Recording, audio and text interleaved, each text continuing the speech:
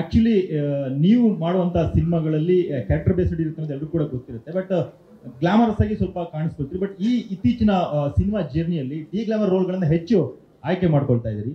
So ಇದರ good ಏನು ಆ ಥರ ಏನಿಲ್ಲ ಸರ್ ಈ ಇವಾಗ ಕೋವಿಡ್ ಆದ್ರಿಂದ ಫಸ್ಟ್ ರಿಲೀಸ್ ಸುಲ್ತಾನ್ ಬಂತು.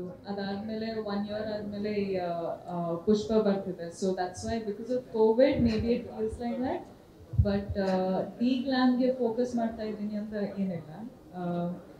Whatever the roles which I find are interesting I'm doing and ಬೇರೆ ಎಲ್ಲ ಪ್ರೊಡ್ಯೂಸರ್ಸ್ ಡೈರೆಕ್ಟರ್ಸ್ಗೆ ಬಿಟ್ಟಿರೋದು. So anyways thank you so much ಸರ್ಗೆ ಇನ್ನೊಂದು ಫ್ಲೈಟ್ ಇರೋದ್ರಿಂದ ಅವ್ರು ಆದಷ್ಟು ಬೇಗ ಇಲ್ಲಿಂದ ತೆರಳಬೇಕು.